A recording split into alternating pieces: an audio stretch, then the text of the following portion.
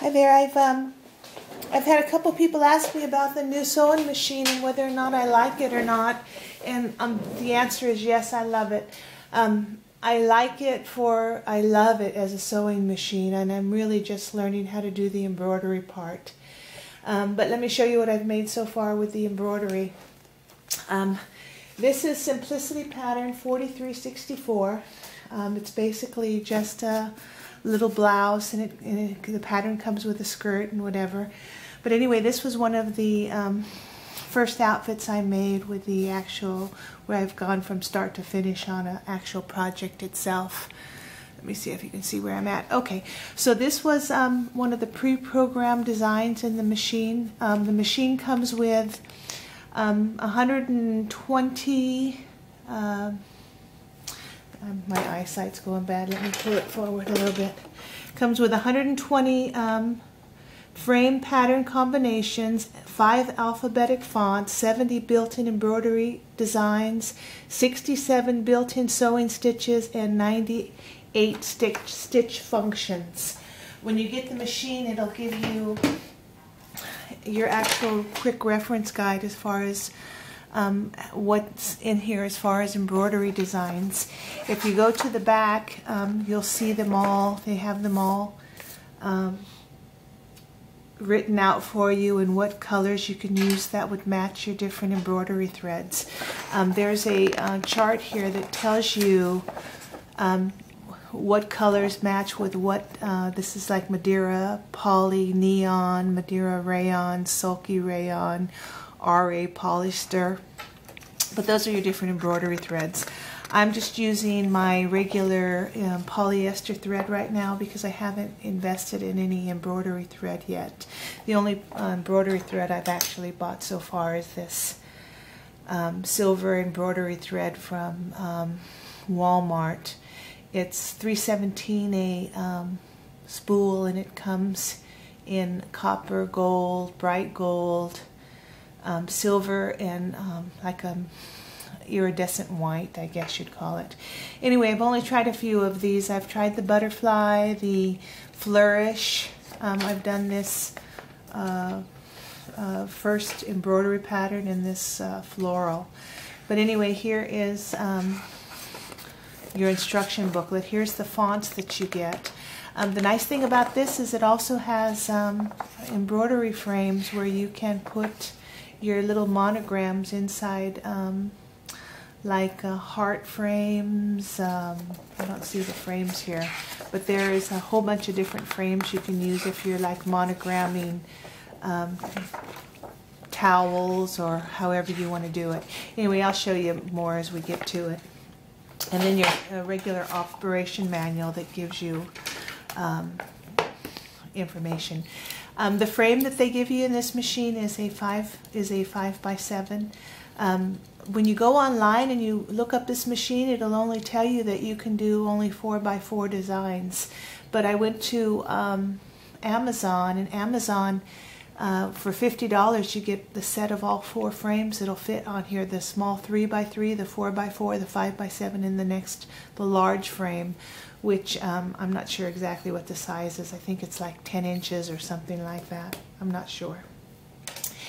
Also, they give you um, the, this is your um, embroidery foot. Uh, it's called the Q. Um, uh, it's sort of like a quilting foot. But anyway, it, um, you push this little button, it helps you get it on, but you have to remove your entire foot off to put this on so you can use it. Um, as far as the uh, machine, it comes with um, one spool of um, your bobbin thread, and it's a very thin. I think it's called monofilament. I'm not sure exactly what it is, but it's very thin, and this is what you use when you use your embroidery, uh, when you're doing the embroidery. It comes with your extra large bobbins uh, for the bottom of your um, embroidery bobbin thread. Um, it holds a lot of thread. I've done so many and I haven't even changed the, this is the first time I've changed the bobbin and since I got the machine. And I've been just playing around with uh, different designs. Um, here is um, the one of the built-in designs. This is um, the Christmas uh, Noel um, uh, embroidery with Santa Claus holding a string of lights. Um, I wasn't crazy about this design because when I did the face on it, it it it, um, it, it, it, came out white. So what I had to do is I took a pair, a little bit of uh, flesh-colored thread, and I uh, filled it in. But they're such beautiful designs. You can't believe the beautiful designs you can get for this machine. Um, I figured out how to download off the internet. Um, but um, I'll, I'll, explain that later. Anyway, here's the same blouse. It's the same simplicity pattern. And this I just did a little um, a velour skirt with some fluff, and I put a little button in the back to. Um, these um, tights were just a pair of um, silver um, socks I bought at the Goodwill in the new section. They were like 99 cents. So I cut them up and made a pair of tights out of them, and they look really cute with the silver designs. But anyway, this is the same pattern. The only thing is I use the green cotton for lining instead of the um, other color. Um, another thing with this one is I um, widened out the um, sleeves because it's because I'm lining these things. It's hard to pull them through like I did on the vest. So when I line these, I widened out the. Um, I was able to do it on this one, but it was a little tight. But here I widened out because I knew the velour would probably be harder to get through than the denim was. So I, I widened out the sleeve a little bit on this one. But it's all the same pattern. You can actually, if you don't want this little thing here on the bottom, the little diamond shape here, you can just cut that off and make it uh, straight across and you can make them longer. I mean, there's just so many things you can do. Anyway, here's some of the um, first attempts at embroidery that I was playing with on my machine. Here's the same butterfly, and I did it in the um, I did it on a plain cotton broadcloth, and um, I didn't pull my fabric tight enough. And look what happens! I got all kinds of puckers in there. I didn't like that at all, so I didn't use this on anything. But um, it's really important when you frame your fabric up that you get it really tight. So anyway, here is some of my attempts um, this was another this was another floral design, but instead of using the colors that they chose, I um, uh, picked my own colors. So I thought this would be really cute with a pair of purple, uh, uh, with a purple skirt or a purple pair of shorts. So I've cut that out, but I haven't made it up yet. This was, um, this came from the Brothers website, and this is called A Woman on a Bridge. And um, this was my first attempt to download a pattern, and I was surprised how easy it was. Um, what you do is you go, um, a lot of websites give you free patterns too. So um, what you do is you, uh, oops, I don't know what that was. Um, you go to uh, uh, any website and you either purchase it or you take their free downloads. This was a free download, so all I did was I don't even have to be hooked up to the machine. I just uh, went and I downloaded it and I saved it as a different file name. And then once I did that and I had it on my computer, I inserted this into my um, connection here and I put the other side into my USB. And then um, when you turn it on, it tells you, do you want to download a pattern? And then uh, it'll actually read it on the machine. It also has a slot for embroidery cards. If you actually buy the design for embroidery, it goes on there. If you're wondering about this machine, it takes two different types of embroidery files. One is um, .pes and the other one is .dst. Those are the only two um, there was one more, but they said it doesn't work well. So um, if you're ever going to uh, get this machine, it'll be compatible with those embroidery files. So, um, so that's that. That's your connection there, and then your regular. I took off my pressure foot, and then um, because I'm going to control it with my button in front, and then your on-off switch. So that's pretty much it. Anyway, that is um, that was the embroidery I pulled offline. And there's a, a website on Facebook too that if you uh, like it, they, they'll give you free patterns on Facebook too. So anyway, here's another attempt I made at that heart. This is what I'm going to do now, but I'm going to make them a little bit smaller so I can get them to fit. They'll fit on this pocket, but I want enough so I can have some design on top too. So I'm going to shrink this pattern a little bit on, on the demonstration.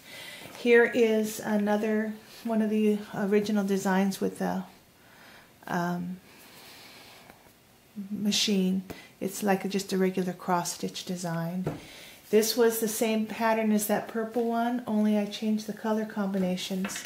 So instead of going with the purples, I went with the reds and blacks, thinking that I could um, make that blouse and use like um, a black bias tape for the sleeves and the neckline and the bottom and then make a pair of red and white shorts. I thought that would be a really cute outfit, but I haven't got to that yet either. So let's see. Oh, okay. So then um, to go with my pants, I'm going to, um, I, I, I, bought an old pair of uh, uh, Levi's at uh, Goodwill. And I've been cutting it up and using it. But this one I did um, the heart and I did a um, silver floor flourish and I'm going to use that same pattern and then I'm going to make a pair of shorts to go with it.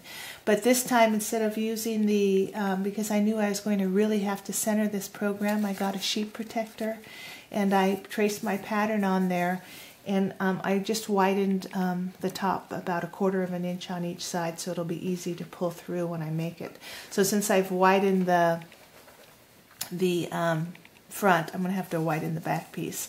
But this will give me a, a, good way of pinning this down and cutting it out so I can get the pattern. I can see through and know exactly where I want to place that um, pattern piece. All that is is a sheet protector copied with a magic marker. That's it.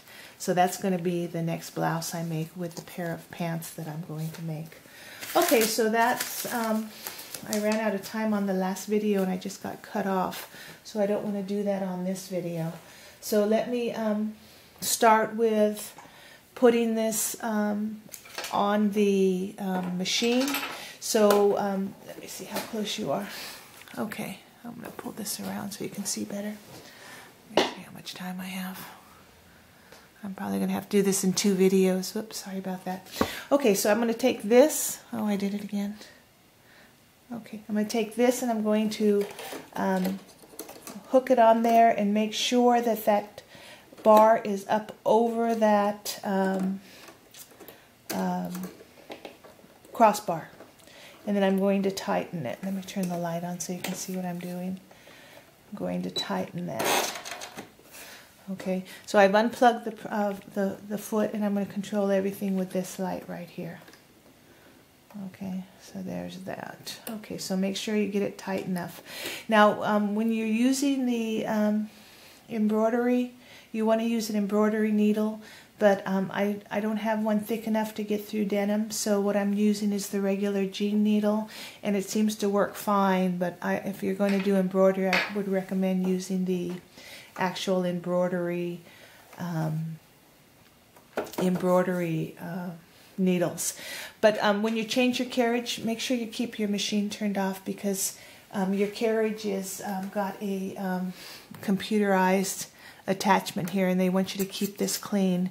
So if you want to keep the bag that it comes into originally or get one of those um, oh, what are they, two gallon bags or something that so you can keep this clean because um, you're going to need that to stay clean because it hooks onto this machine.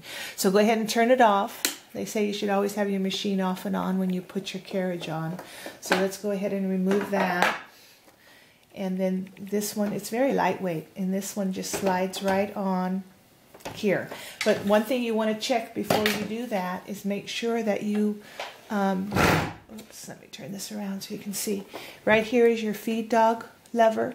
So what you want to do is make sure your feed dogs are down because you don't, your carriage is what's going to move your uh, uh, uh, machine around. So this is with the up and this is with it down. If you're not sure, you can turn it on and, and um, try to see your feed dogs. Let's see. Yeah, see, your feed dogs still move, but they don't they don't break the surface. Okay, here, your feed dogs are up and you can feel them come up. So you want to make sure your feed dogs are off. Okay, so then go ahead and shut your machine back off and then insert your uh, uh, embroidery carriage. And it just slides on in until it hooks. Okay, so there's that. So I've got my embroidery uh, bobbin in I, with my uh, embroidery thread in the bobbin. And now I'm going to just go ahead and uh, insert my um, embroidery thread for the top. If you've ever noticed the embroidery threads, they're kind of um, rounded at the top, and the reason for is that they'll slide off and not catch. So um, I was using the small spool cap, and it caught and it jammed my machine, and it kept breaking my thread. So I went to the um, larger spool cap and I haven't had any trouble with thread catching and breaking. So you also want your thread to come up towards you over the top like this. So put it on, make sure you tighten your spool all the way so it's nice and snug in there. And then just go ahead and thread your machine. The nice thing about this machine is it's got a um, uh, right in the way. It's got a um, needle threader. So what you do is you just follow your numbers all the way down until you get to this part.